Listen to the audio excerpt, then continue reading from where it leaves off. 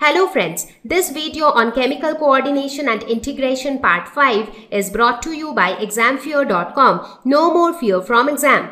So now let us introduce the term hormones because that is going to be the main agenda of this lesson. So when we talk about endocrine system, we'll talk about the endocrine glands and we'll talk about the hormones. So let us see what are hormones.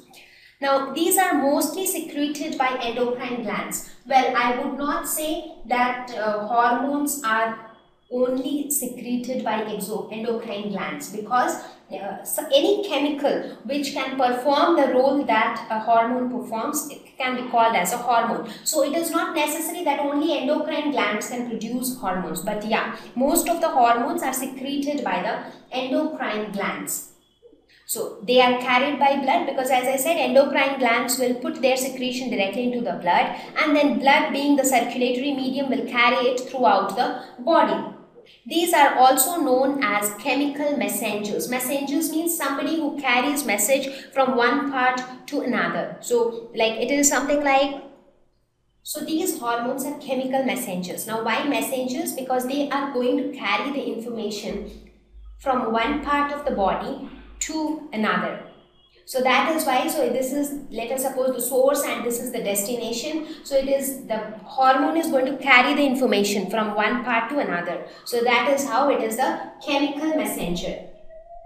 It acts on specific target organs. So that specificity has to be understood or it has to be taken care of. That a hormone, let us suppose that this is the gland which produces a hormone which spreads throughout the body in the blood. So it is present in the blood.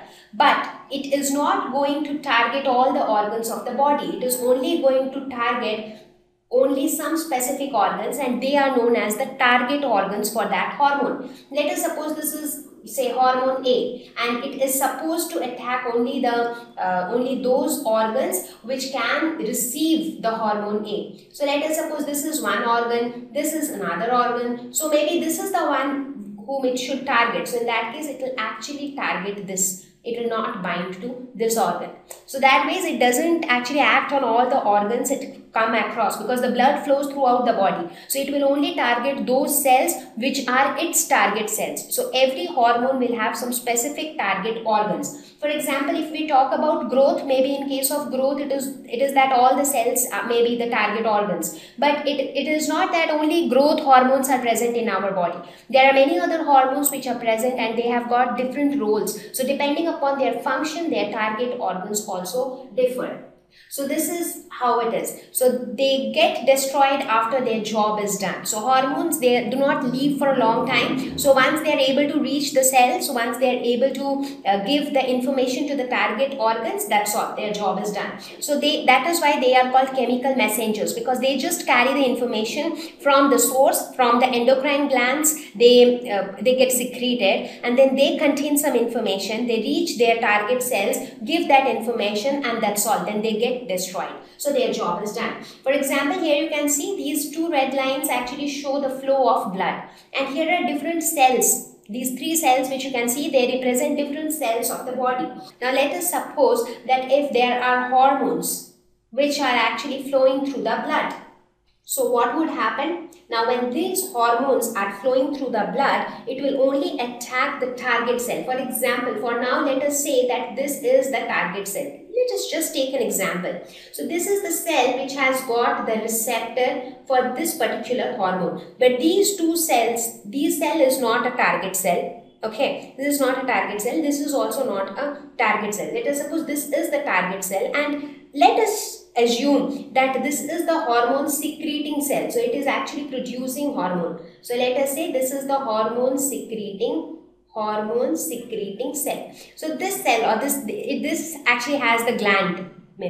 So it is actually producing these hormones and these hormones will flow through the blood. Now as soon as it reaches this region, it will actually see the receptors being present in this cell. So these hormones will actually tend to stick to these receptors and that is how it will convey the information from the source to the destination and the destination was the target cell. Now let us suppose if this is not a target cell, in that case it will not have the receptors for this particular hormone. So in that case these hormones will just go on. So this cell will remain unimpacted due to the presence of these hormones in the blood. So the hormones will only attack the target cells and how will they recognize the target cells? By the presence of the receptors on the target cells. Now we will talk about hormone receptors later. So now I am not going into that detail but just understand that the job of hormone is to carry the information from the source to the destination and how will they understand which is their destination their destination is the target cell and they will recognize their destination with the help of the receptors. If the receptors are present that is their destination.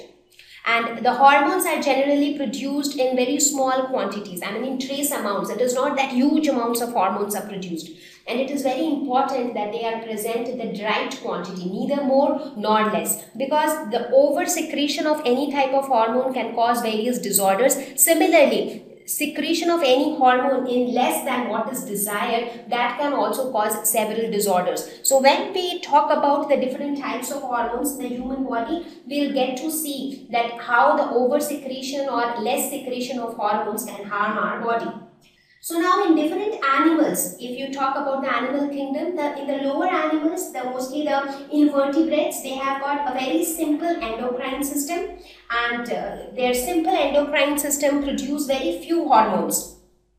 So, mean, not too much of complication involved. Simple endocrine system producing few hormones. However, there are a large number of chemicals uh, which can also act as hormones because they also provide coordination within the body. So, hormones are generally produced in trace amounts. So, now instead of uh, looking at the endocrine system of the various um, invertebrates, we will directly look into the endocrine system of human beings because for most of the lower animals, the endocrine system is not not that advanced and they do not have that many hormones or that many endocrine glands. Thank you.